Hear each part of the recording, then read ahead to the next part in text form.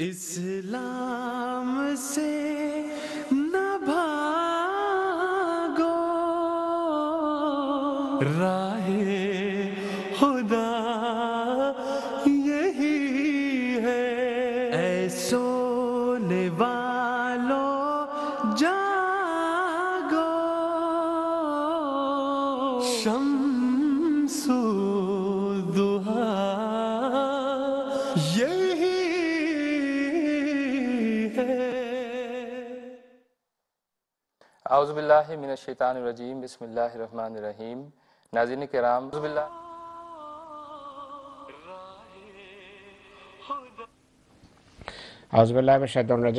রহমান আজকে ষোলো মে উম, রায়ুদা অনুষ্ঠান নিয়ে আবার উপস্থিত হয়েছে আপনারা দেখছেন প্রোগ্রাম লাইভ এবং ইন্টারেক্টিভ এর উদ্দেশ্য হলো অনুষ্ঠান চলাকালে দর্শকদের, আমাদের সাথে যোগাযোগের সুযোগ দেয়া প্রশ্ন করা এবং আলেমদের পক্ষ থেকে উত্তর নেয়া। বর্তমান পরিস্থিতির প্রেক্ষাপটে আজকের এক ঘণ্টার অনুষ্ঠানই হবে। পরিস্থিতির কারণে আমাদের সাথে আলেমরা ভিডিও লিংকের মাধ্যমে অনুষ্ঠানে অংশগ্রহণ করবেন। আজকের অনুষ্ঠানে আমাদের সাথে জনাব শামসাদ আহমদ কমর সাহেব আছেন, একইভাবে রয়েছেন আহমদুল্লাহ বন্দিশা সাহেব। আসসালামু আলাইকুম রহমতুল্লাহ বরকাতহ। শুধু দুর্ভাগ্যবশত আজকে উম্মতে মোহাম্মদিয়া যেখানে বাহাত্তর ভাগে বিভক্ত, আল্লাহ তালার ফজলে আমাদের সম্পর্ক সেই জামাতের সাথে। যে জামাতের প্রতিষ্ঠাতা আল্লাহ তালার ফজলের সেই ব্যক্তি যার সংবাদ দিয়েছেন মহানবী ইসলাম আর তিনি সেই ইমাম মাহদি যার উম্মতে অপেক্ষায় রয়েছে। চতুর্দশ শতাব্দীর শিরোভাগে আল্লাহ তালা তাকে কাদিয়ানের অজানা গ্রামে প্রেরণ করেন। সেখানে তিনি দাবি করেন যে তিনি আল্লাহর পক্ষ থেকে এ শতাব্দীতে সে কাজের জন্য প্রতাদিষ্ট হয়েছেন, যে কাজ শুরু থেকে ইমাম মাহদের জন্য নির্ধারিত ছিল, অর্থাৎ ইসলামের পুনরুজ্জীবন ইসলামের খেদমত, ইসলামের সেবা। তিনি সব মুসলমানকে আমন্ত্রণ জানান এই কাজে সে যোগদানের জন্য এবং তাকে সাহায্য করার জন্য। তিনি বলেন যে নিষ্ঠার সাথে আমার কাছে আসো, এতে কল্যাণ নিহিত নিহিত, আমি নিরাপত্তা দুর্গ সর্বত্র রয়েছে হিংস্র প্রাণী। আমাদের প্রিয় নেতা হজরত মোহাম্মদ সাল্লাহ আলাইসাল্লাম তার মতে জন্মগ্রহণকারী এ ব্যক্তিকে ইবনে মরিয়াম নাম দিয়েছেন। ইবনে মরিয়াম নামে তাকে স্মরণ করেছেন। এর কারণ ছিল মুসা ইসলামের উম্মতের ঈসার সাথে যে ব্যবহার হওয়ার ছিল, মোহাম্মদ রসুলার উম্মতে আগমনকারী ঈশার সাথে একই ব্যবহার হওয়ার কথা? হজরত মসিহ মহাদ ইসলাম যখন দাবি করেন সমসাময়িক যুগের নামধারী আলেমেরা যারা পূর্ব থেকে এক ঈশার অপেক্ষায় ছিল, যাদের আশা ছিল যে মসিহ আসবেন যারা অপেক্ষমান ছিল তারাই তার দাবির পর তার বিরোধিতা আরম্ভ করে, তার শত্রুতা আরম্ভ করে, সকল অর্থে তাকে ধ্বংস করার চেষ্টা করে, ক্রুশে লটকানোর চেষ্টা করে। ঈসা আলাহ ইসলামের কথা বলা হচ্ছে এখানে। পূর্বের ঈসার কথা প্রথমে তিনি বলেছেন যে তাকে, পূর্বের ঈসাকে ক্রুশে লটকানো হয়েছে। হজরত মির্জা গোলাম আহমদ যখন দাবি করেন সে একই ইহুদি প্রকৃতির নামধারী মুসলমান জাহেল আলেমের তিনি সম্মুখীন হন তারা মোহাম্মদ মসিকে ক্রোশে লটকানোর সকল চেষ্টা করেছে। তার বিরুদ্ধে কুফরি ফতোয়া জারি করা হয়েছে। তার বিরুদ্ধে হত্যার ষড়যন্ত্র হয়েছে। তার বিভিন্ন অপনাম রাখা হয়েছে। কাফের দাজ্জাল কাজাব বলা হয়েছে। ধোকা এবং প্রতারণার ভিত্তিতে এই স্বর্গীয় আওয়াজকে তারা চাপা দেওয়ার চেষ্টা করেছে। একই রীতির পুনরাবৃত্তি হয়েছে, যা শুরু থেকে আল্লাহ প্রত্যাদিষ্টদের সাথে হয়ে আসছে। আর এখানে আমরা এর সব কিছুরই পুনরাবৃত্তি দেখেছি আমরা, কিন্তু আহমদিয়া মুসলিম জামাতের একশো ত্রিশ বছরের ইতিহাসে কথার সাক্ষী যে যেখানে শয়তানের চেলারা সকল অপচেষ্টা করেছে এই এই আওয়াজকে চিরতরে চাপা দেওয়ার জন্য। এখানেও আল্লাহ তালা এই- সুন্নতি প্রদর্শন করেছেন। অর্থাৎ কথা কাতাবুল্লাহ আগলেবন না নেওয়া রসলে। আল্লাহ সিদ্ধান্ত করে রেখেছেন যে আমি এবং আমার রসুল অবশ্যই জয়যুক্ত হব। তিনি এবং তার রসুল অবশ্যই জয়যুক্ত হবেন। এটি আল্লাহর সিদ্ধান্ত। দর্শক সেই পরিস্থিতি সম্পর্কে কিছু বলার পূর্বে অর্থাৎ আমাদের এই সম্পর্কে একটা প্রশ্ন উনি বলছেন, এসে গেছে আমাদের সত্যতা সম্পর্কে প্রশ্ন এসেছে। তার পূর্বে আমি আপনাদের সামনে কিছু কথা উপস্থাপন করব। রমজানের পবিত্র মাস আমরা অতিবাহিত করছি। এখনও শয়তান তার বিভিন্ন সাঙ্গপাঙ্গ এবং চেলাদেরকে নিয়ে জামাত আহমদের বিরুদ্ধে মিথ্যা এবং প্রতারণার আশ্রয় নিয়ে জামাতের বিরুদ্ধে সকল অপচেষ্টা করছে। পাকিস্তানের মেইন স্ট্রিম মিডিয়াতে এই কাজ শুরু থেকেই হয়ে আসছে। অনেক সাহাবে অনেক সাংবাদিক এমন আসে যারা সাংবাদিকতার নামে মিথ্যাচার করে, মিথ্যাকে সেইভাবে ব্যবহার করে যেন মিথ্যা মিথ্যা বলা কোনো অপরাধই নয়। তো একটা বিশেষ এজেন্ডার অধীনে এজেন্ডার নিয়ে তারা একটা, এজেন্ডার অধীনে জামাত আহমদের বিরুদ্ধে অপপ্রচার চলছে। একটা বিশেষ অভিযান সেখানে পরিচালিত হচ্ছে। আজকের এই অনুষ্ঠানে আপনাদের সামনে এমন কিছু কথা উপস্থাপন করব। আল্লাহ তালার একটা উক্তি আছে যে দর্শকদের সামনে তুলে ধরতে চাই যে আল্লাহ তালা মোমেনদেরকে সম্বোধন করে বলেন যে ইয়াই আল্লাহ আমানু ইনজা কম ফাসে কম বেনা বাইন ফাতাবাইয়ানু আন্তুসিবু কমাম বেজাহালাতান ফাতুসবিহু আলা মা ফাআলতুম নাদিমিন হে যারা ঈমান এনেছো।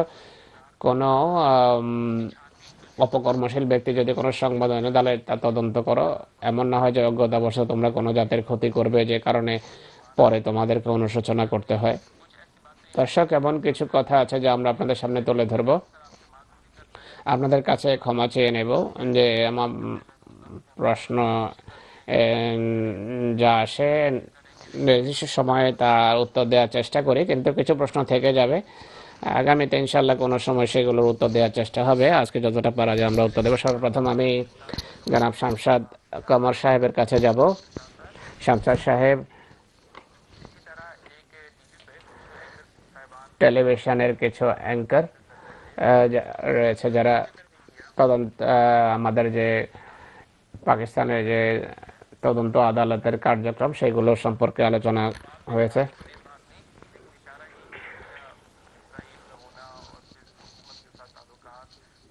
এই জামাত সম্পর্কে যে বিভিন্ন অপবাদ রয়েছে সেই সমস্ত অপবাদের কথা এনে বলছেন ইসরায়েলের প্রেক্ষাপটে আপত্তি করা হয়। আহ, শামসাদ সাহেব আপনি বলুন দর্শকদেরকে।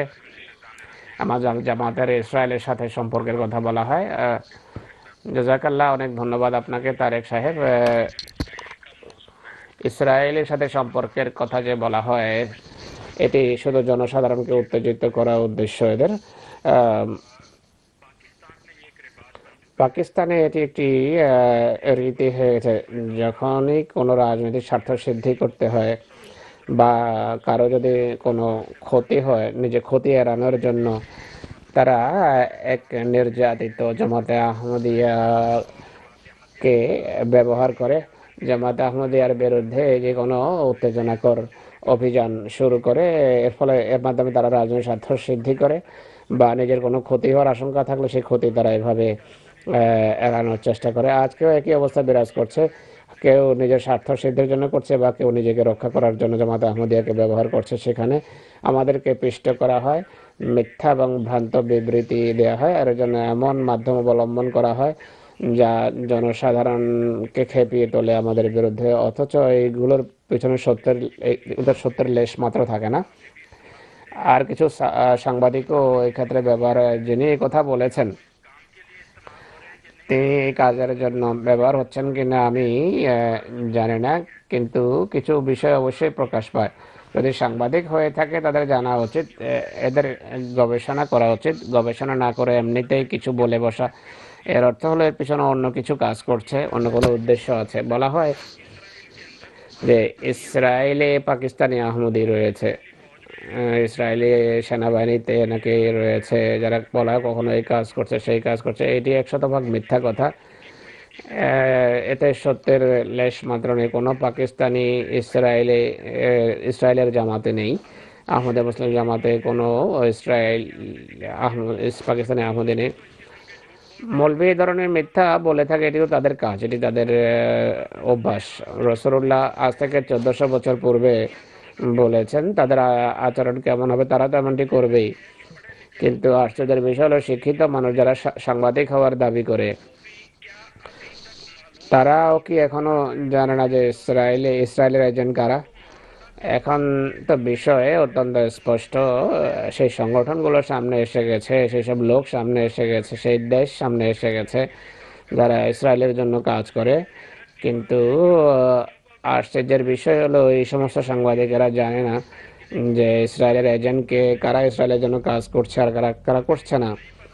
যদি না জানে, তাহলে এদের এক অ্যাঙ্কার অ্যাঙ্কার সাংবাদিকের কথা বলছি, তাদের এক প্রসিদ্ধ অ্যাঙ্কার টিভিতে আসেন, তিনি অনুষ্ঠান করেন, তিনি একবার বলেছেন, আমি গালফের একটা দেশে যখন দুবাইতে, সেখানে শেখ মোহাম্মদের এক কোম্পানিতে এক ব্যক্তিকে দেখেছি, লম্বা দাড়ি, মাথায় টুপি ছিল, আর সারাইকি উর্দু, আরবি ইত্যাদি খুব ভালো বলতেন।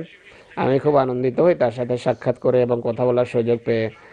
তখন আজান হয়ে যায়, আমরা নামাজ পড়ার জন্য চলে যাই। তিনি নামাজের জন্য যাননি।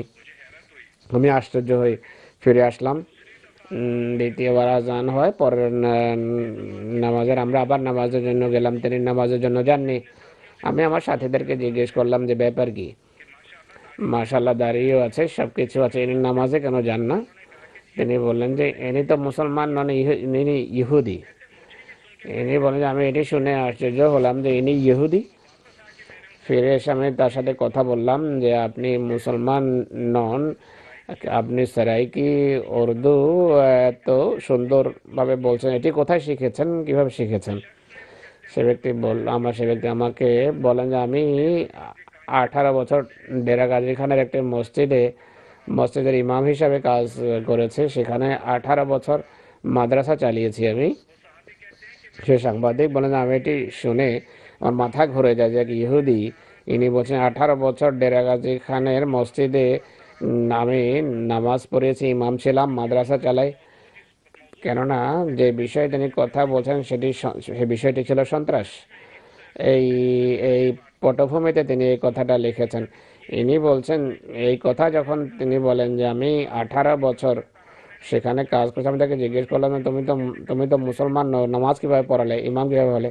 তিনি বললেন ইট ওয়াজ মাই জব এটা আমার এটি আমি চাকরি ছিল, আমি চাকরি করছিলাম। ইনি বলেন, তখন আমার মাথায় আসলো যে এই ধরনের আরও কত লোক হবে। কয়টি মসজিদে এরা নামাজ পড়াচ্ছে, কতটি মাদ্রাসা তারা সেখানে চালাচ্ছে, আর সেসব মাদ্রাসাতে কতজন মৌলবি পাশ করে বেরিয়েছে। মৌলবিদেরকে তারা কি পড়িয়েছে, কি শিখিয়েছে সেই মৌলবি আজকে আমাদের সমাজের অংশ, যে কারণে সব কিছু হচ্ছে। আর এরা জামাত আহমদিয়াকে বলছে যে জামাত নওয়াজবিল্লাহ জামাত আহমদ ইসরায়েলের এজেন্ট, এদের কিছুটা গবেষণা করা উচিত। এটি স্পষ্ট হয়ে গেছে। আহমদিয়া মুসলিম জামাত শুরু থেকেই বলে আসছে যে, ইসরায়েলের জন্য কারা কাজ করছে, কারা করছে না। কিন্তু এরা যদি না বোঝে, তাহলে আক্ষেপের বিষয় এটি। দ্বিতীয় কথা হলো, ইসরায়েলে এটি সত্য কথা যে আহমদি সেখানে আছে। কিন্তু সেখানে কি শুধু আহমদি তারা কি আহমদি তারা কি পাকিস্তানি? এই কথা বলা যে পাকিস্তানের সেখানে আছে, এটি মিথ্যা কথা। সেখানে কোনো পাকিস্তানি আহমদে নেই। সেখানকার আহমদিরা জন্মগত আহমদি, বংশ পরম্পরায় তারা সেখানে আরব সেখানে বসবাস করছে। শুধু আহমদে নয়, ইসরায়েলে এখনও অন্তত পনেরো লক্ষ মুসলমান বসবাস করে। সে দেশের ভেতর যারা বংশ পরম্পরায় সেখানে থাকে, আরব আহমদিও আছে, আরব অন্য মুসলমানও আছে। আহমদেরা যদি ইসলামের বিশ্বাসঘাতক হয়ে থাকে ইসলামের প্রতি যেখানে তাদের জমি, ভূমি সবই আছে প্রশ্ন হলো, পনেরো লক্ষের অধিক যে অন্য মুসলমান আছে, তাদের সামনে কি ফতোয়া দেবেন? জামাতে আহমদিয়ার মিশন সেখানে উনিশশো সনে প্রতিষ্ঠিত হয়েছে। অথচ ইসরায়েলের জন্ম হয়েছে উনিশশো আটচল্লিশ সনে। এরা তো তখন থেকেই আহমদি, আর আজও তারা আহমদি। আর দ্বিতীয় কথা হলো, ইসলাম একটি বিশ্ব ধর্ম। আপ- আপনারা শুরুতে আপনি শুরুতে বলেছেন তারেক সাহেব হজরত মসিম ইসলাম সেই বিশ্ব ধর্মকে পৃথিবীতে প্রচারের জন্য এসেছেন। সারা বিশ্বের জন্য তার আসার কথা ছিল। সারা পৃথিবীতে তার জামাত প্রতিষ্ঠিত হওয়ার ছিল। এই দৃষ্টিকোণ থেকে ইসলামের শিক্ষা কি? ইসলাম কি বলে? যদি কোনো জায়গায় কোনো মুসলিম সরকার সরকার অমুসলিম হয়, সেই সরকারের অধীনে বসবাসকারী মুসলমানদের কি করা উচিত? আল্লাহ তালা কোরআন শরীফে এ সম্পর্কে স্পষ্ট দিক নির্দেশনা দিয়েছেন। রসুল্লাহ শিক্ষা থেকে এটি স্পষ্ট। মহানবী সাল্লাহ ইসলাম বলেছেন যে হুবুল ওয়াতানি মিনাল ইমান দেশপ্রেম ইমানের অঙ্গ। কিন্তু কোন দেশ এটি রসুল্লাহ বলেননি? শুধু পাকিস্তানের প্রতি ভালোবাসা ইমানের অঙ্গ? শুধু ভারতের প্রতি ভালোবাসা ইমানের অঙ্গ? ইউরোপের সাথে নাকি সৌদি আরব বিশেষ কোনো দেশের কথা বলেছেন কি? না। এর অর্থ হলো, মুসলমান পৃথিবীর যে দেশে বসবাস করুক না কেন, সেই দেশকে ভালোবাসা তার ইমানের অঙ্গ। একইভাবে কোরআন করিমে আল্লাহ তালা বলছেন যে ইয়াইউল্লাযিনা আমানু আতিউল্লাহ ওয়া আতিউর রাসূল ওয়া উলিল আমরি মিনকুম। হে যারা ঈমান এনেছো, আল্লাহর আনুগত্য করো, তার রসুলের আনুগত্য করো। আর যারাই তোমাদের শাসক তাদের আনুগত্য করো। হ্যাঁ যদি কোনো বিষয়ে তোমাদের মতভেদ দেখা দেয়, ফাইন তানাজাতুম ফি শাইইন ফারুদ্দুহু ইলাল্লাহি ওয়া ইলার রাসূল ওয়ার রাসূল যদি তোমাদের মাঝে কোনো বিষয়ে বেতনটা দেখা দেয়, এমন ক্ষেত্রে আল্লাহ এবং রসুলের দিকে ফিরে যাও। আল্লাহ এবং রসুলের দিকে সেটিকে ফিরিয়ে, ঘুরিয়ে দেওয়ার, ফিরিয়ে দেওয়ার অর্থ কী? স্মরণ রাখা উচিত, শরীয়তের নির্দেশাবলী দু ধরনের হয়ে থাকে। কিছু নির্দেশ এমন যা ব্যক্তির সাথে সম্পর্ক রাখে, মানুষের ব্যক্তি সত্তার সাথে সম্পর্ক রাখে, যেমন কালেমা পাঠ করা, নামাজ, রোজা, হজ জাকাত জাকাত জাকাত বাকি হজ ছাড়া বাকি সব ইবাদত ব্যক্তির সাথে সম্পর্ক রাখে। এরপর মানুষের সাথে আপনার লেনদেন, কথাবার্তা, এগুলো মানুষের নিজের সাথে সম্পর্ক রাখে। কোন শরীয়তের অন্য নির্দেশ সেগুলো, যেগুলো সরকারের সাথে সম্পর্ক রাখে। যে সরকার ক্ষমতা যদি হাতে আসে, কীভাবে ক্ষমতা চালাতে হবে? সরকার চালাতে হবে। সরকার যদি রাষ্ট্র ক্ষমতা হাতে আসে সেই ক্ষেত্রে এটি প্রযোজ্য। রাষ্ট্র ক্ষমতা যদি হাতে না থাকে, সেইভাবে কি করবে? মুসলমান শাসক যদি হয়, তাহলে শাসকের কাজ হলো আইন বাস্তবায়ন। যদি অমুসলিম যদি শাসক অমুসলিম হয়, ইসলাম কি বলে? ইসলাম বলে যে এমন ক্ষেত্রে সেই অমুসলিম সরকার যদি তোমাদের ব্যক্তিগত বিষয়ে হস্তক্ষেপ না করে, ধর্মীয় স্বাধীনতা দেয়। তোমরা কলেমা পাঠ করতে পারো, নামাজ পড়তে পারো, রোজা রাখতে পারো, আল্লাহর ইবাদত করতে পারো। পূর্ণ স্বাধীনতা যদি সরকার দেয়, তাহলে এমন ক্ষেত্রে এমন উলুল আমর বা এমন শাসক বা সরকারের আনুগত্য করা।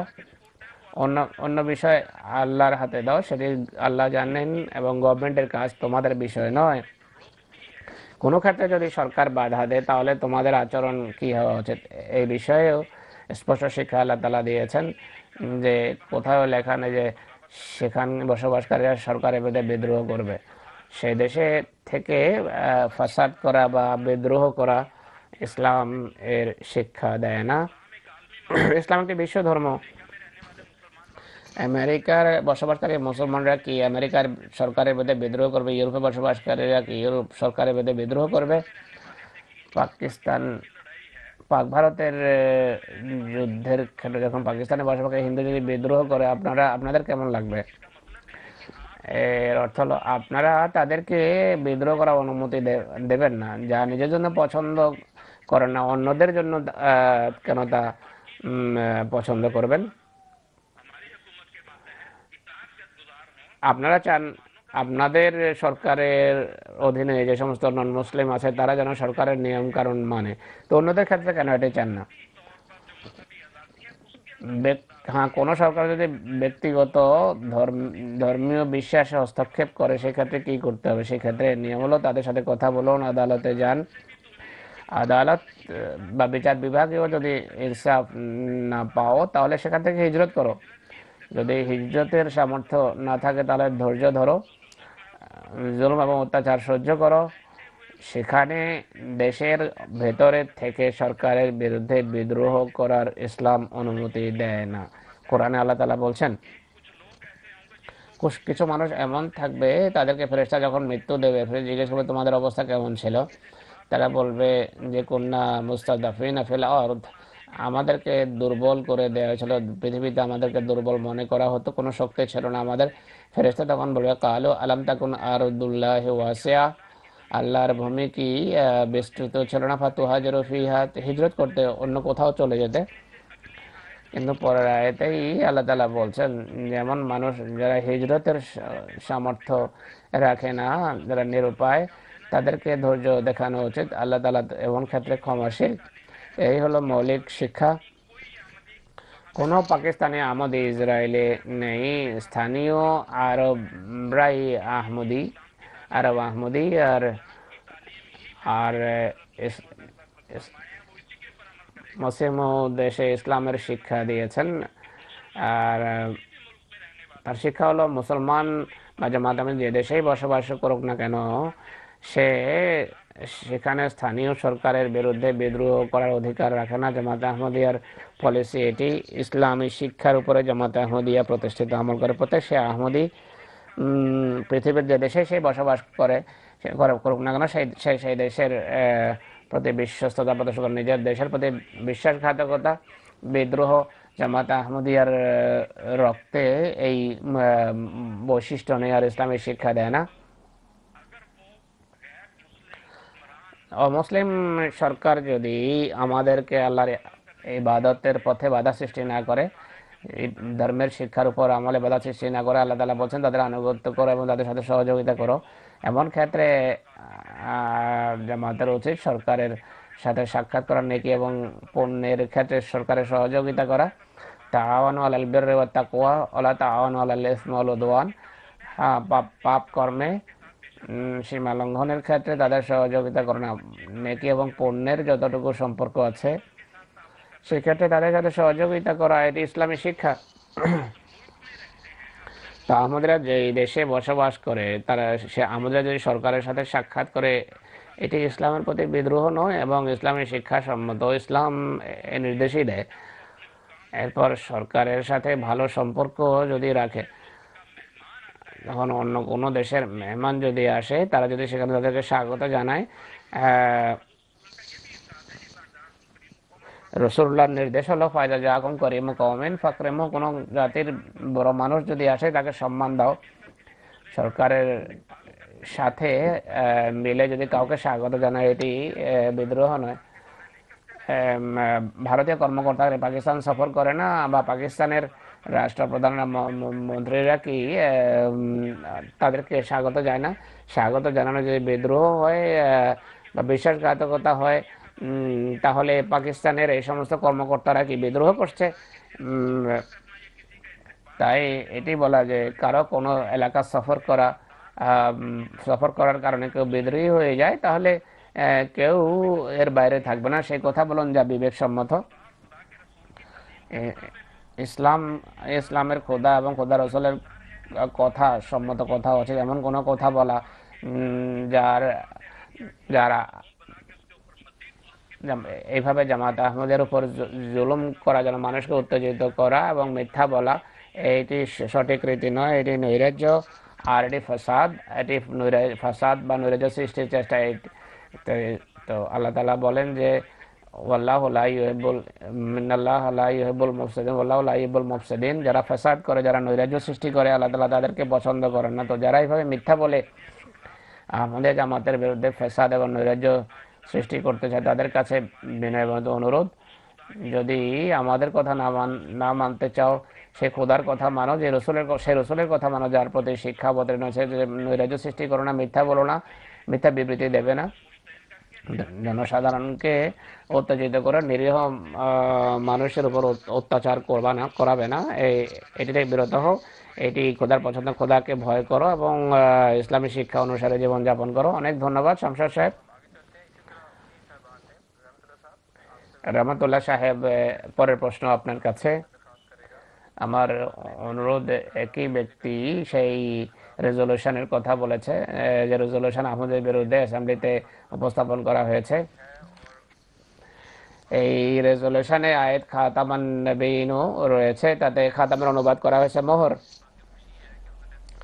আমরা আনন্দিত যে অনুবাদটা সঠিক করেছে যে খাতামের অর্থ শেষ নয় বরং মোহর। কিন্তু এরপর ব্যাখ্যা করতে গিয়ে পুনরায় মানুষকে ধোকা দিয়েছে, প্রতারিত করেছে, আর এর অর্থ করে যে খাতামান নবীন অর্থাৎ নবীদের মোহর, যখন মোহর লেগে যায় রাস্তা চিরতরে বন্ধ হয়ে যায়, মোহর শেষে লাগানো হয় এইভাবে রসুল্লাহ নবীদের মোহর নবতের রাস্তা বন্ধ হয়ে গেছে, এটি হলো তার কথা। এর এ সম্পর্কে আপনি আলোকপাত করুন। আসসালামু আলাইকুম। তারেক সাহেব, অনেক ধন্যবাদ।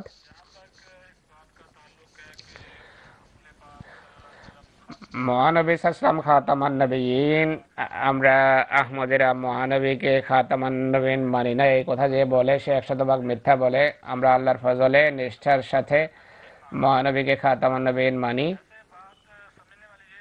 যা বোঝার বিষয় তা হলো, আমাদের এবং আহমদীদের খাতামান নবীনের বিষয়ে সত্যিকার কোনো মতভেদ নেই। আমরা বলি যে খাতামা নবেনের যে অর্থেই কর- কর- করতে চান করুন, তা আম- আম- আমাদের কাছে গ্রহণযোগ্য।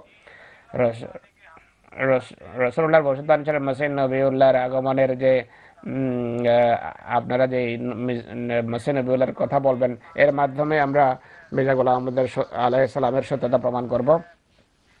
আমরা কিতাব রসুল ফেরেস্তা বা ইমানের যে স্তম্ভগুলো আছে, সেগুলোর প্রত্যেকটিতে আমরা বিশ্বাস করি ও আহমদেরাও এই বিশ্বাসী রাখে। সব আহমদই ইসলামের সব স্তম্ভে বিশ্বাসী ও আহমদেরাও একই বিশ্বাস রাখে।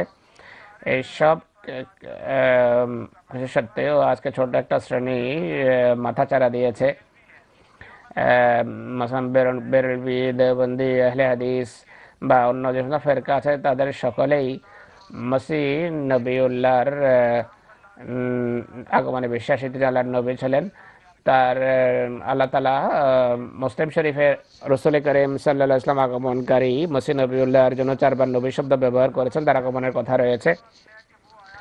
আসল মতভেদ হলো যে, যিনি আসবেন, তিনি কি পূর্বের ঈসা আসবেন নাকি উম্মতে মোহাম্মদিয়া কোনো ঈসার জন্ম হবে? আয়াত খাতামান নবীনের যতটুকু সম্পর্ক আছে, আল্লাহ তালা বলছেন যে, মহানবী সাসলাম খাতামান নবীন মহানবী সাল্লাহাম খাতাম মোহর, নবীদের মোহর। মোহরের কাজ কি?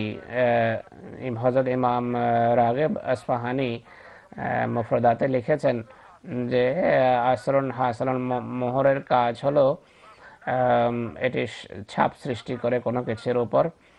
মহানবী সাল্লাহ মোহর যার উপর লাগবে তার গায়ে রসুল্লাহর ছাপ লাগবে।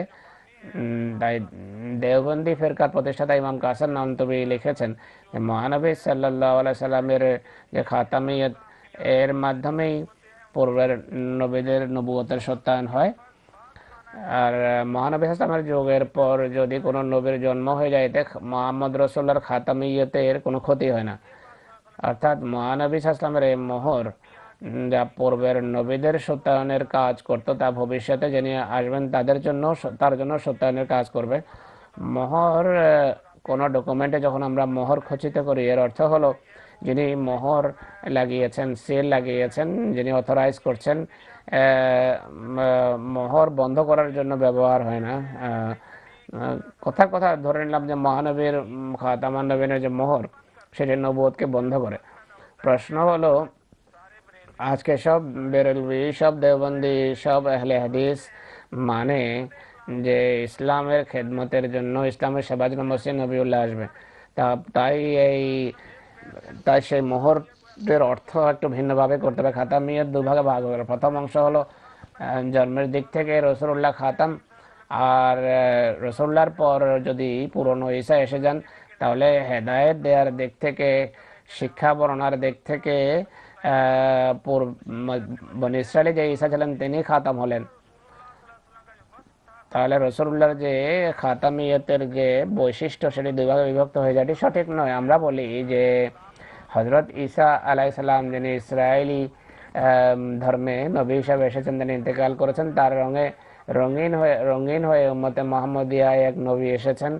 আর সেই নবীউল্লাহ মহানবী সাল্লাহ ইসলামের আনুগত্যে আল্লাহর আনুগত্যে এসেছেন, যেভাবে সুরা নিসায় আল্লাহ তালা বলেন যে, এখন যিনি নবুয়ত পাবেন, তার জন্য শর্ত দুটো। মাইয়তি ইল্লাহ ও রসুল্লাহ আল্লাহর আনুগত্য করতে হবে আর মোহাম্মদ রসুল্লাহর আনুগত্য করতে হবে। তিনি এমন ব্যক্তি এই যুগে সিদ্দিক, শহীদ, সালে এবং নবুয়তের দরজা পেতে পারে। বাকি কাকে আল্লাহ নবী বানাবেন, কখন বানাবেন, এটি আল্লাহ, এই অধিকার আল্লাহ নিজের হাতে রেখেছেন। আল্লাহ তালা বলেন যে, আমরা ভালো জানে কোথায়, কাকে, কখন কাকে নবী আল্লাহ আলম হায়তো ইয়াজাব রেসালাতাহ। আল্লাহ রেসালাতের সূচনা কখন করবেন? আল্লাহ ভালো জানেন। মোহর যখন কোনো কোনো কিছুর উপর লাগানো হয়, সেটি ছাপ রেখে যায়। মোহাম্মদ রসুল্লাহর মোহর যার উপর লাগবে, সে, তিনি উম্মতে নবী হতে পারেন। মোহাম্মদ রসুল্লাহর কোনো নেক ব্যক্তির উপর যদি মোহ লাগে, সে সালে হতে পারে। শহীদের উপর মোহ লাগে, শহীদ হতে পারে। সিদ্দিকের উপর মোহাম্মদ ইসলাম মৌলা সিদ্দিক হতে পারে। তো মোহর নিজের ছাপ সৃষ্টি করছে। এই কারণে কোরআন, হাদিস সে মহানবী ইসলামকে আমাদের জন্য রহমত আখ্যা দেওয়া আছে। হে আমার বন্ধুগণ নবত একটি রহমত, এটি কোনো অভিশাপ নয়, এটি আশীর্বাদ। রসুল্লাহর কোনো অভিশাপ নিয়ে আসেননি। মোসা তার জাতিকে বলেছেন যে, হে আমার জাতি, স্মরণ করো, খোদা তোমাদেরকে নবী বানিয়েছেন বাদশা বানিয়েছেন। আল্লাহর নেহমতকে তিনি স্মরণ করেছেন আমরা প্রত্যেক নামাজে আল্লাহর কাছে দোয়া করি যে হেদানা সেরাত আল মুস্তাকিম সেরাত আল্লাহ জিন আরামতা আলহিম আমাদেরকে সেই সব লোকের পথ দেখাও যাদের প্রতি এনাম বর্ষিত হয়েছে। তো নব- নবুয়ত হলো একটা পুরস্কার। এটাকে ভয় করেন কেন? এটি খোদার দান। যা হজরত মোহাম্মদ রসুল্লাহর দান, তার মাধ্যমে এটি এসেছে। এটি এমনই কথা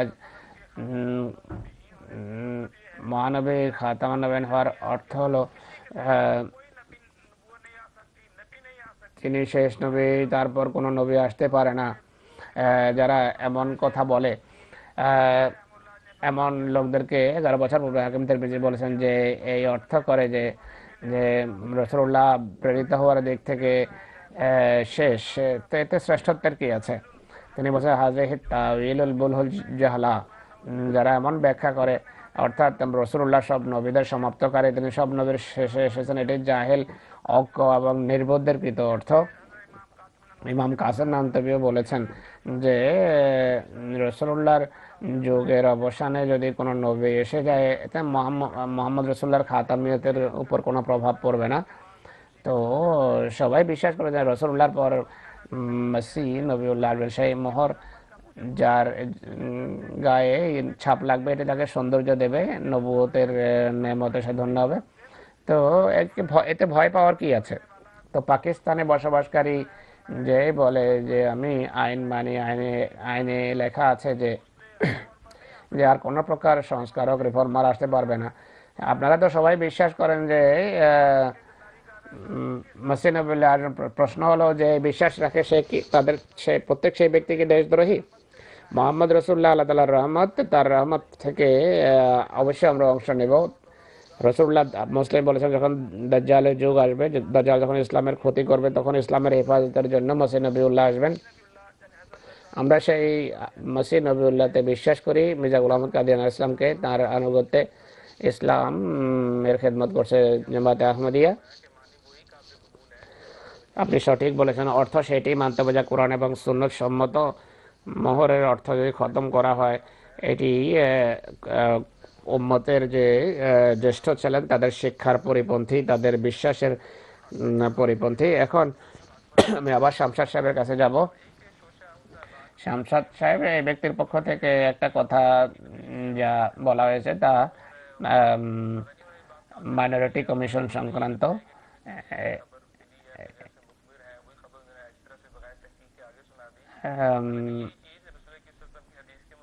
রসুল্লাহ সাল্লাহ আলাইসাল্লাম এর কথা অনুসারে এক ব্যক্তি যে মিথ্যাবাদী হওয়ার জন্য এটি যথেষ্ট যে সে কোনো কথা শোনা মাত্রই কোনো গবেষণা না করে মানুষের মাঝে বলে বেড়ায়। যাই হোক, এই ব্যক্তি বলছেন যে পাকিস্তানে বসবাসকারী এই জামাত এবং লন্ডনের যে জামাতে আহমদিয়ার শাখা, এই দুটোর মাঝে নাকি মতভেদ দেখা দিয়েছে। পাকিস্তানের জামাত মাইনরিটি কমিশনের অংশ হতে চায়, সে মুসলিম হিসাবে নিজেদের নিজেদের মেনে নিতে তারা প্রস্তুত। লন্ডনের জামাত নাকি পাকিস্তানি, পাকিস্তানের আহমদিয়া জামাতের অংশকে ধমকি দিচ্ছে যে তোমাদের ফান্ড বন্ধ করে দেওয়া হবে। যাই হোক এই কথার কোনো ভিত্তি নেই, কিন্তু আপনি এই বিষয়ে কিছু আলোকপাত করুন।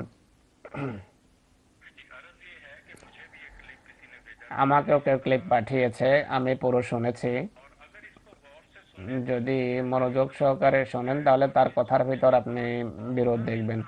এটি বুঝে মানুষ তাৎক্ষণিকভাবে বুঝ- বুঝতে পারে যে এটি একটি মিথ্যা বাণী, এ ব্যক্তি একটা মিথ্যা বলছে। এ বিষয়ে বেশি গবেষণার প্রয়োজন নেই। এ ব্যক্তি যা বলেছে, তাতে কোনো সত্যের নামগন্ধ আমরা দেখিনি। একটা বাসনা ব্যক্ত করেছে এই ব্যক্তি, এই সাংবাদিক, কিন্তু এতে সত্যের নামগন্ধও নেই। এ- ব্যক্তির কথা শোন এই ব্যক্তি অ্যাঙ্কার বলেন যে আমার কোনো প্রতিনিধি এটি আমাকে জানিয়েছে। দুইজন রাবোয়া দুইজন মুরব্বীর সাথে আমাকে ওনার কথা হয়েছে। কি বলেছে? তারা রাবোয়া থেকে নাই বলেছেন যে আমরা পাকিস্তান গভর্নমেন্টের সিস্টেমের অংশ হতে যাচ্ছি। আমরা গ্রহণ করতে আমরা গ্রহণ করার জন্য প্রস্তুত যে আমরা মুসলিম কেন গ্রহণ করতে যাচ্ছে? এ, যুক্তি হলো আমাদের এখানে কোনো কষ্ট নেই, সব অধিকার আমাদেরকে দেওয়া হচ্ছে, আমাদের সন্তান সন্ততিরা স্কুলে যাচ্ছে, ইত্যাদি ইত্যাদি। ধর্মীয় স্বাধীনতা আমাদের রয়েছে, আমাদের অধিকার আমরা এনজয় করছি, তাই এটি নিজেদের অমুসলিম মেনে নিতে অসুবিধা কি কিন্তু আবার ইনি বলছেন যে, লন্ডনের জামাত লন্ডন থেকে বলা হচ্ছে যে মুসলিম হিসাবে নিজেদের সিদ্ধান্ত মানবে না। পাকিস্তানিরা, পাকিস্তানের আহমদিরা নাকি বলছে, আপনারা লন্ডন বসে আছেন, সুখেই আছেন, আমাদের সমস্যা কি আপনারা বোঝেন না। আমরা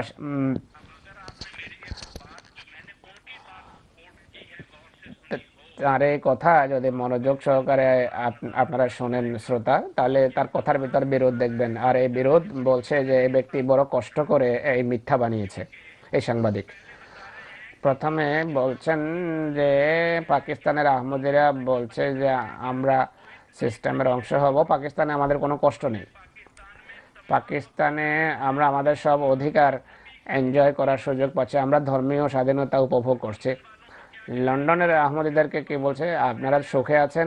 আপনারা জানেন না যে আমরা কত কষ্টের ভেতর রয়েছে। আমরা সমস্যায় নিপতিত। আমরা কোথা কথাই বলতে পারি না।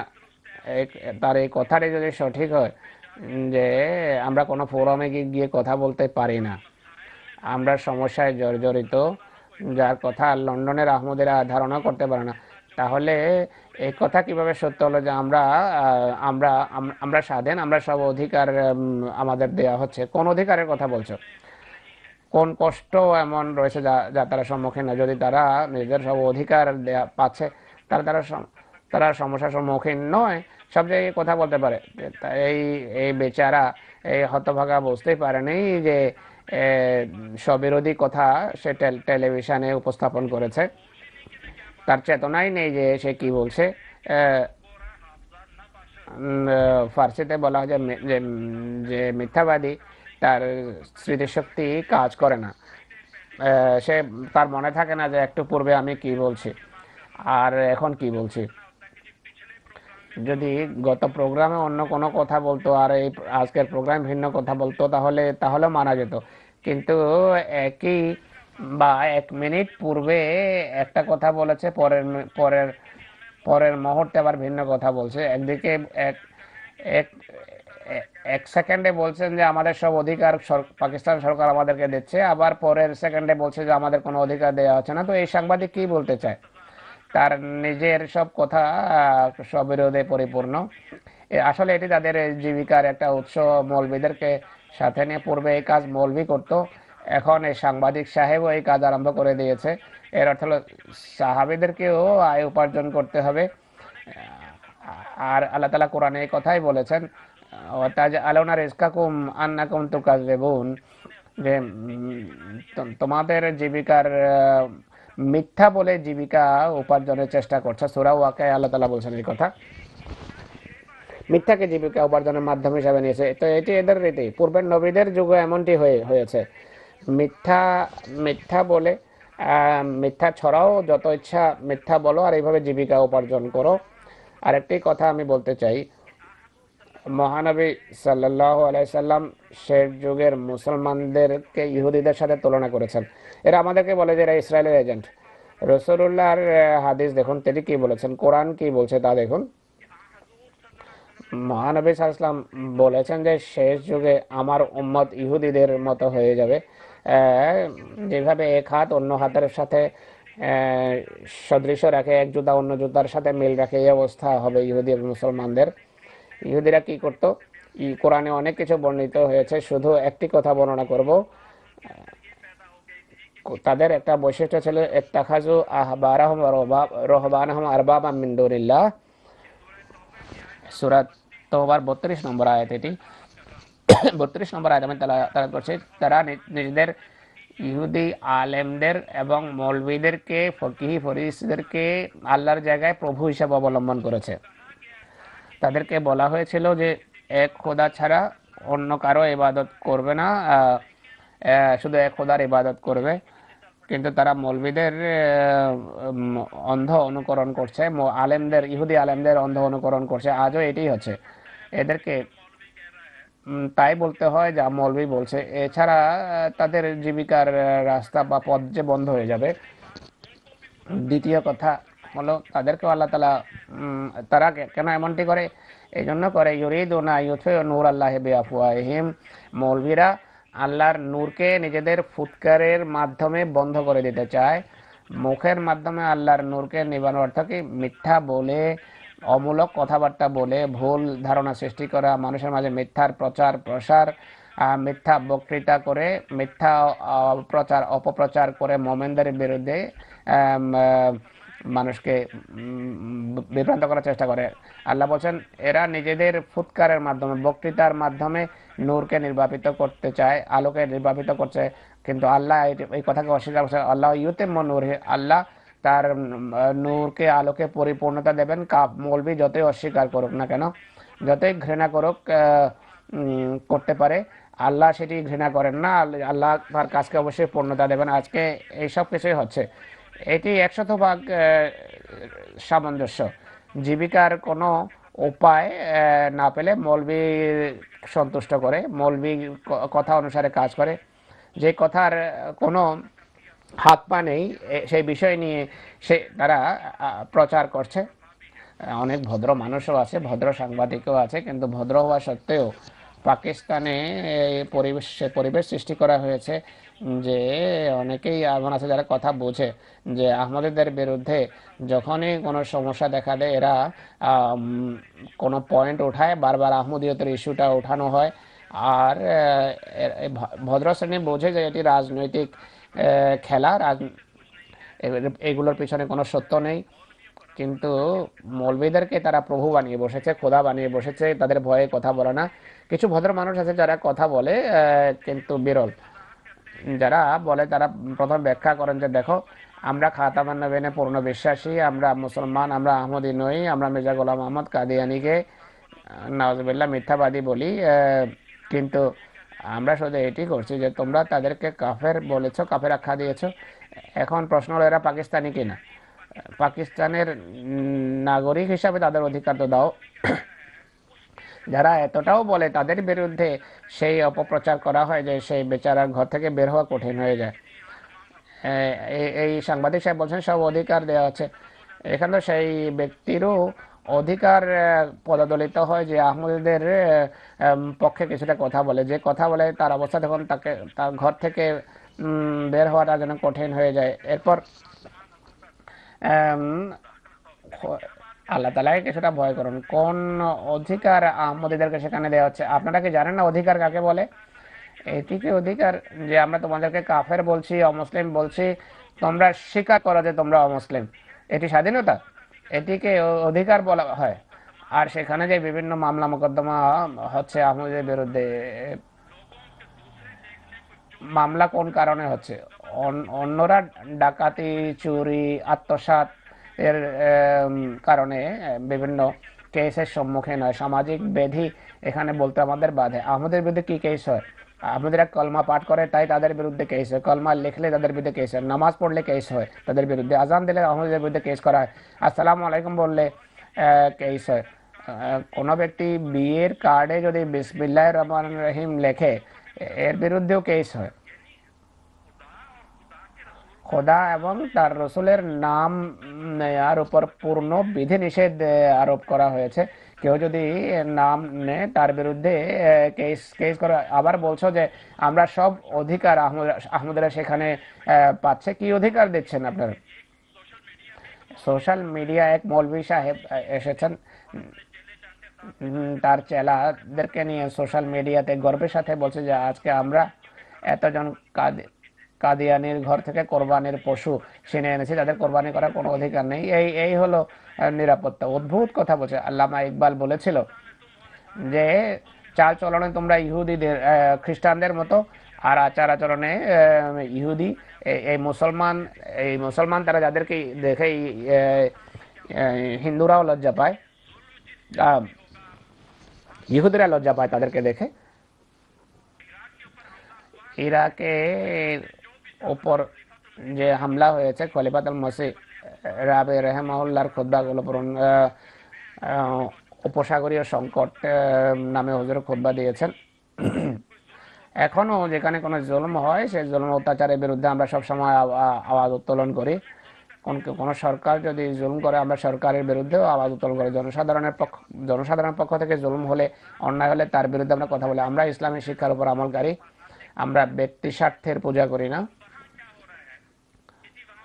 সেখানে কি হচ্ছে? সেখানে ইন্ডিয়া ভারতে বাবরি মসজিদ ডেমলিশ করা হয়েছে। আমরা এর প্রতিবাদ করেছি। কিন্তু আপনারা বলছে পাকিস্তানে আহমদদেরকে অধিকার দেওয়া হচ্ছে। তারা বাবরি মসজিদ ডেমলিশ করেছে। মুসলমানদের মুসলমানরা হইচই আরম্ভ করেছে। এটি করা উচিত। কিন্তু পাকিস্তানে আপনারা কি করছেন?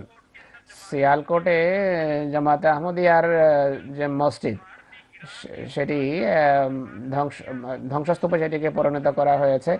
আল্লাহর ঘর ভেঙ- দেওয়া হয়েছে। তারা তারা এটি করেছে, যারা সরকার চালাচ্ছিল। দোলবালের ভাওয়ালনগরের মসজিদে একটা অংশ ভেঙে ফেলা হয়েছে। কসুরে সম্প্রতি পুলিশ জামাতে আহমদিয়ার মসজিদ ছিনে গैर আহমদি মুসলমানদের হাতে তুলে দিয়েছে। আহমদিরা সেখানে কি করতো? আল্লাহর ইবাদতই করতো। আহমদিদের বাধা দিয়েছে আমাদের কাছে ছিনে নিয়েছে। সেখানকার নাম্বারদার সেই সোশ্যাল মিডিয়া এটি বলছে বক্তৃতা করছে যে মসজিদ চুরাশি বছর ধরে আহমদিদের কাছে ছিল। যখন পাকিস্তান ছিল না, তখন তখন এটি আহমদিদের মসজিদ ছিল। কিন্তু আহমদের হাত থেকে ছিনে নিয়ে গেছে। এখন আমাকে বলুন বাবরি মসজিদ যারা ভেঙেছে তারা জুলুম করেছে অন্যায় করেছে কিন্তু শিয়ালকোটে যারা মসজিদ ভেঙেছে তাদের কাজ কি নেকি ছিল? দুলমিয়াল যারা যারা মসজিদ নষ্ট করছে, তারা কিসের কসুরের মসজিদ যারা ছেড়ে নিয়েছে, তারা কি করেছে? যেখানে ভারতে যদি জুলম হয়, অন্যায় হয়, তাহলে পাকিস্তানে যে জুলম হয় সেটিকে আমরা জুলম অন্যায় বলব। এটি অধিকার দেয়া নয়। জানি না কোথায় আপনারা অধিকারের সংজ্ঞা পেয়েছেন। কিসের অধিকার দিচ্ছেন আপনারা? যে জুলুম বা অন্যায়, পৃথিবীর যেখানে হোক না কেন, সেটি অন্যায় আখ্যায়িত হবে। এলাকা পরিবর্তনের কারণে জুলম এবং অন্যায়ের সংজ্ঞা পরিবর্তন হয় না। জুলম এবং অন্যায় যদি ভারতে হয় ভারতে যদি কোনো কিছু জুলম হয়ে থাকে, পাকিস্তানেও সেটি জুলম এবং অন্যায় হবে। যেই জায়গাতেই হোক জুলম এবং অত্যাচারের নতুন সংজ্ঞা বানাবেন না। শেষ কথা যা বলতে চাই লন্ডনের আহমদরা নাকি বলছে, বাজেট কমিয়ে দেবে। এরা জানেই না যে আহমদরা চাঁদা কেন দেয়, কীভাবে চাঁদা দেয়, বাজেট কি হয় বাজেট কীভাবে বিতরণ হয়। আহমদিয়া মুসলিম জামাতের সদস্যরা ভালোভাবে জানে যে এই ব্যাখ্যার প্রয়োজন নেই যে আহমদরা কেন চাঁদা দেয়। তারা খুব ভালোভাবে জানে যে আমরা চাঁদা কেন দেই, চাঁদা কোথায় যাচ্ছে, আর বাজেট কীভাবে বিতরণ হচ্ছে। এর, এটি নিয়ে বিস্তারিত আলোচনা যাওয়া আমার দরকার নেই। এই জন্য দরকার নেই। এটি যদি বিস্তারিত আমি এখানে তুলে ধরি তাহলে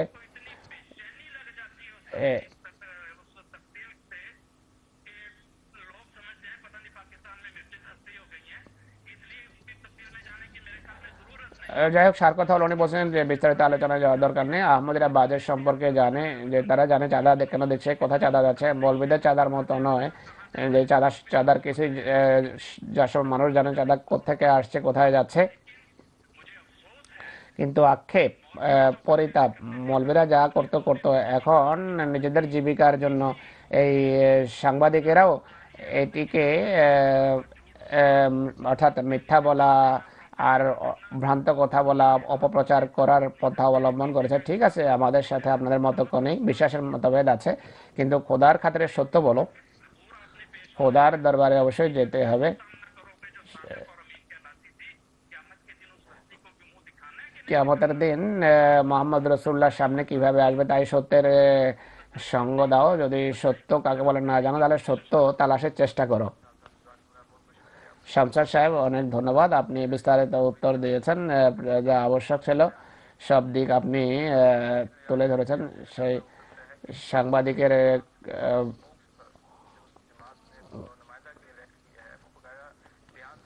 উনি বলছেন যে তার কোনো স্পোক্স ম্যান ছিল, তার মুখপাত্র ছিল। অর্থাৎ যাই বলেছেন ইনি মিথ্যা বলেছেন এই সাংবাদিক। দর্শক, আপনাদের পক্ষ থেকে প্রশ্ন আসছে। আমার সামনে কিছু প্রশ্ন আছে, কিন্তু আমরা সেই প্রশ্নগুলো অনুষ্ঠানে নিতে পারছি না। সময় সংক্ষিপ্ত, যে কথাগুলো এখানে বলা হচ্ছে সেগুলো খুবই গুরুত্বপূর্ণ। এই সত্য বর্ণনা করা আবশ্যক। অধিকাংশ আহমদের সামনে এগুলো রয়েছে, আহমদেরা জানে। কিন্তু কিছু মুসলিম হয়তো, বা অ আহমদি হয়তো এসব কথায় প্রভাবিত হতে পারে। তাই পুরো সত্য তাদের সামনে তুলে ধরা আবশ্যক। রহমতুল্লাহ সাহেবকে আমি আরেকটা প্রশ্ন দেব, সময় সংক্ষিপ্ত। রহমতুল্লাহ সাহেব, এতে আপত্তি যা করা হয়, ওসিয়ত ব্যবস্থা সম্পর্কে। যে ব্যক্তি বাজে এই সম্পর্কে আপত্তি করে অনেক অপ্রয়োজনীয়, বৃথা বাজে কথা হাস্যস্কর কথা এই সম্পর্কে বলে, ওসিয়ত সম্পর্কে। সময় সংক্ষিপ্ত, আপনি, আপনার কাছে অনুরোধ, এই সম্পর্কে আলোকপাত করুন।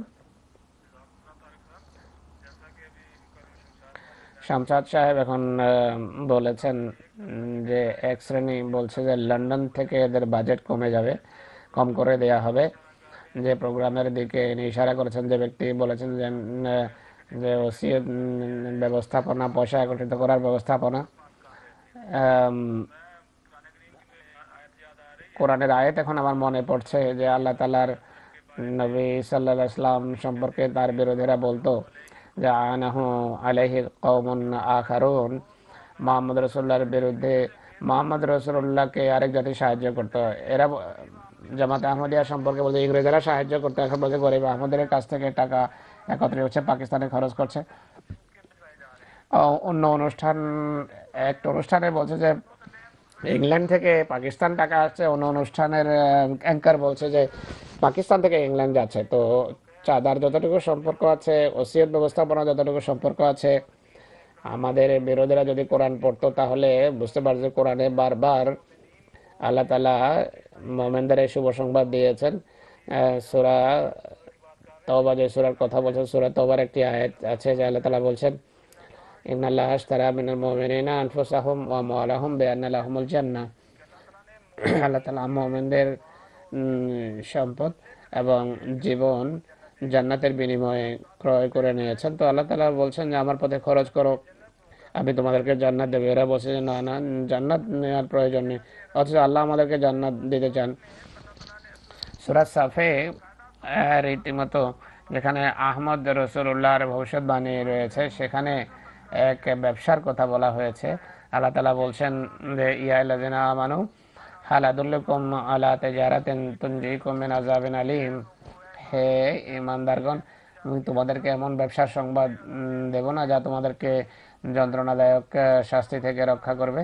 তুমিনুনা বিল্লাহ রসুলিহি, তোমরা আল্লাহর প্রতি ইমান আনো, রসুলের প্রতি ইমান আনো। তুজাহিদু নফি সাবিলিল্লাহ বিআমওয়ালিকুম ওয়া আনফুসিকুম। এরপর আল্লাহ তাআলার পথে নিজেদের ধন নিজেদের প্রাণ এবং জীবনের মাধ্যমে জেহাদ করো। তো আল্লাহ কোরআন বলছে যে, হে লোকসব আল্লাহর পথে সম্পদ খরচ করো, সম্পদ, ধন সম্পদ ব্যয় করো। এর বিনিময়ে জান্নাত লাভ করো। যদি বেশি মুখবেরা না থাকতো, হয়তো এই আপত্তি অন্যভাবে এরা এরা করতো।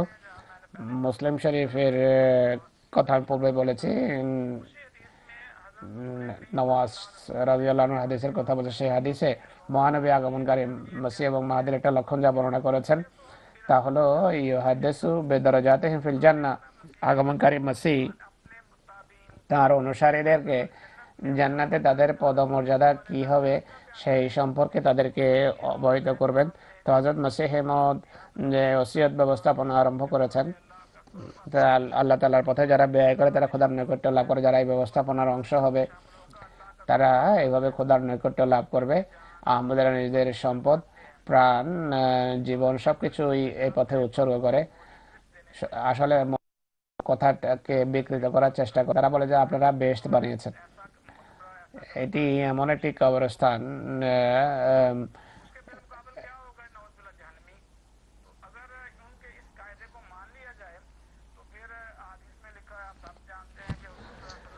এরা বেস্ট মুখবেরা নিয়ে আপত্তি করে যে বেস্ট মুখবেরা কেন বানালেন। অথচ রসুল্লাহর জীবনেও দেখা যায় যে জান্নাতুল বাকি জান্নাতুল বাকি বানানো হয়েছে। পাকিস্তানের কথা হচ্ছে পাকিস্তানের প্রত্যেক দ্বিতীয় তৃতীয় মজারের জন্য বেহেশতি দরজা তারা বানিয়ে রেখেছে। তারা আবার যে এই দরজা অতিক্রম করে জানা, সে জানাতে প্রবেশ করল। সেই দরজা ছাড়া অন্য দরজা যারা প্রবেশ করে, তারা সবাই কি জাহান্নামী? সুরা সাফে সত্যিকার অর্থে আগমনকারী আহমদ নবের অনুসারীদের সম্পর্কে রয়েছে। আমি তোমাদেরকে অনেক বাণিজ্যের সংবাদ দিচ্ছি, যা তোমাদেরকে জান্নাতে নিয়ে যাবে তা হলো তুজাহিদুনা ফি সাবিলিল্লাহ বিআমওয়ালিকুম ওয়া আনফুসিকুম। তোমরা আল্লাহ তালার পথে নিজেদের সম্পদ এবং জীবনের মাধ্যমে জিহাদ করবে। আহ, সূরা বলেছেন আল্লাহ হাশতারা বিনাল মুমিনিনা আনফুসাহুম ওয়া আমওয়ালাহুম বিআন্না লাহুমুল আল্লাহ তোমাদের সম্পদ এবং জীবনের বিনিময়ে তোমাদের জান্নাতের প্রতিশ্রুতি দিয়েছেন। তো আমরা সানন্দে স্বেচ্ছায় আল্লাহর পথে সম্পদ খরচ করি। আর ইসলামী শিক্ষা অনুসারে যেভাবে এক সাহাবি বলেছিলেন যে আমি আমার পুরো সম্পদ হে আল্লাহ রসুল আপনাকে দিতে চাই। রসুল্লাহ বলেছেন তুমি এক তৃতীয়াংশ পর্যন্ত ওসিয়ত করতে পারো। আমরা রসুল্লাহর সেই আদেশ অনুসারে সর্বোচ্চ এক তৃতীয়াংশ ওসিয়ত করি। আহ, আহমদিরা সে স্বতঃস্ফূর্ত প্রেরণা নিয়ে এই অর্থ ব্যয় করে। আমরা বাধ্য নই। এটি খোদার কৃপা যে আল্লাহ তালা আমাদেরকে তৌফিক দিয়েছেন। আর্থিক কোরবানির মানুষকে শুধু আল্লাহ তালা আপত্তি করার তৌফিক দিয়েছেন। দেখব আমরা যে কারা সত্যের উপর যারা আল্লাহর পথে ব্যয় করেন নাকি আপত্তিকারীরা। আপত্তিকারী মহান রসুল্লাহর যুগেও ছিল। কোরআন বলে যে মেনহুম মাইয়াল মেজুকা ফিস সাদাকাত। আহ, কোরআন বলে যে হে রসুল মুনাফেকরা তোমাকে সম্পদ আত্মসাৎ করার সদকা বা জাকাত আত্মসাৎ করার বিষয়ে তোমাকে দোষারোপ দেয়, তোমাকে অভিযুক্ত করে। তো রসুল্লাহ আসলাম বলেছে, উম্মত তেত্রিশ ভাগে বিভক্ত হয়ে যাবে। সত্যবাদী শ্রেণি সম্পর্কে রসুল্লাহ বলেছেন, মা আনা আলাহি ওয়াসাহাবি আমি এবং আমার সাহাবির কর্মপন্থায় তাদের কর্মপন্থা হবে। আমরা আমাদের ধন সম্পদ ব্যয় করে আপত্তিকারে যেভাবে কোরআন বলে যে এরা তারা শুধু অপবাদী আরোপ করে বা অভিযোগ কোনো কোনো প্রমাণ ছাড়া, কোনো দলিল ছাড়া, কোনো যুক্তি ছাড়া প্রোগ্রামের শেষ প্রান্তে পৌঁছে গেছে।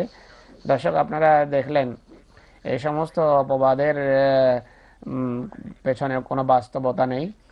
জামাত আহমদের একটা ত্রিশ বছরের ইতিহাস এই কথার সাক্ষী যে যখনই জামাত আমাদের বিরুদ্ধে, বিরোধীরা ষড়যন্ত্র করেছে, অপচেষ্টা করছে। খোদা তাদের এই অপচেষ্টাকে তাদের তাদের গলার শিকল বানিয়ে বেড়ি বানিয়ে তাদের পরাজয়ের ব্যবস্থা করেছেন। জামাত ক্রমাগতভাবে উন্নতি করে চলেছে আল্লাহ তালার কৃপায়। আল্লাহর ফজলে আমাদের কাছে সেই নেমত রয়েছে, সেই তোফা রয়েছে, যার প্রতিশ্রুতি আল্লাহ তালা কোরআনে মোহাম্মদদেরকে দিয়েছেন, তা হলো খেলাফত। এই- এই খেলাফতের নেতৃত্বে, খেলাফতের তত্ত্বাবধানে আহমদিয়া মুসলিম জামাত পৃথিবীর দুই শতাধিক দেশে ইসলাম সেবা আর দায়িত্ব পালন করে চলেছে। ইসলামের উন্নতির জন্য পুরো চেষ্টা করে যাচ্ছে আর এর জন্য সব কিছু উৎসর্গ করার জন্য প্রস্তুত। এমন অপচেষ্টা, এমন হিংসুক সবসময় মাথা চারা দেয়। তা ঐশী জামাত যখনই উন্নতি করে, এমন হিংসুকের হিংসুক মাথা চারা দেয়। আজকের অনুষ্ঠানে যারা অংশগ্রহণ করেছেন তাদেরকে ধন্যবাদ জানাই।